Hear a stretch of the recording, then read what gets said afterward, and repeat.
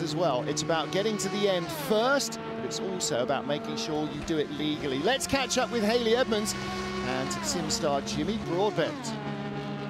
So I'm live now with Jimmy Broadbent, driver of the 67 car for Mallet Racing team.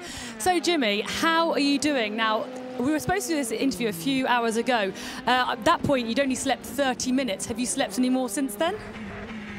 Uh, no, not yet. Still on the 30 minutes and a couple of pints of coffee in me, which is very race driver. I know. Okay. Uh, it's, it's, it's going okay though. Good, good to hear. Um, now, Chris, actually one of our esports commentators, told me that yesterday was quite a special day for you. It was your birthday, if I'm not mistaken. Yeah, birthday, of course, and then the uh, awesome opportunity to drive in this race. And uh, my my YouTube channel that we've been streaming on the entire race has uh, hit half a million subscribers. So well it was a pretty done. ridiculous day, I think. Uh, pretty ridiculous indeed. So really cool to get to kind of have that uh, that uh, achievement during this event. It kind of felt right. So, would you have ever thought that you'd be celebrating your birthday driving the 24 hours of Le Mans Virtual? No, usually I, I spend it alone with a, with a glass of wine, so this, this is a lot, a lot better actually. Um, yeah, it's uh, it's probably one of the uh, birthdays I'm going to remember for a while. I think. I reckon so. So, as a, from a sim racer's perspective, because we've been speaking to a lot of um, drivers, I mean, what's it like for you to participate in such what can only be called a global event that has attracted some of the world's best drivers, notably Alonso, Verstappen, uh, Norris? I mean, what is it like from your point of view? I mean, first of all, I've, I've said it a few times. It's an absolute privilege to be on this grid and, and honored to get to drive alongside people like that. So many, uh, you know, past uh, Le Mans champions and drivers all, all around the world.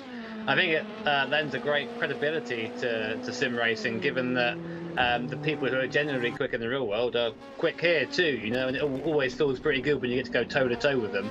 It's probably also the reason why we aren't doing so well either. Um, but it's yeah, it's really cool to have that grid here.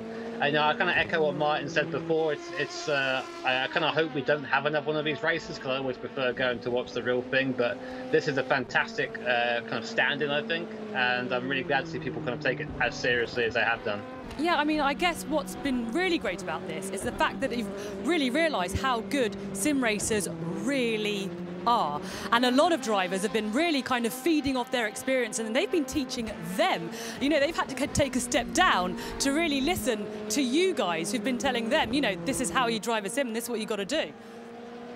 Yeah, the, uh, I used to be part of a uh, WhatsApp group for another series with the uh, kind of real and sim drivers, and the, the real drivers were saying, "Can we not have the sim drivers, please? They're making us look bad." Um, because you know it's, it's a different sort of skill. The basics are, are very similar, um, but it's um, yeah, it's it's, it's a, that little bit different, as uh, Sean Eric was kind of saying earlier on. So I know you've already participated in endure, virtual endurance racing, but just tell us about this experience, how it's gone for you thus far, with uh, just an, uh, just over an hour to go until the end of it. I mean, from a perspective of the races, we, we were doing okay at the start. We knew we weren't going to be fighting with anyone uh, at the top of the field. We were trying to stay out of trouble, but we had a few technical issues. We had, of course, we've got uh, Robert Wickens driving with us uh, on our team, and he's using hand controls. And, and he had an unfortunate uh, unfortunate error where his force feedback, the force in the wheel, was stuck at like 100%, and he has to take one hand off the wheel to um, to, to brake with his handbrake. So he was uh, having all sorts of issues there, but it's been a bit of a typical race for us, really. We, we kind of just plod around and just try and get through it. And I think when we cross the line, even though we're down in 18th place or so, it's going to feel like a pretty big achievement. Of course, yeah, it will be a very good big achievement. Well, well done for the subscribers. Happy belated birthday, and uh, cheers. Thanks a lot, Jimmy. Thank you very much.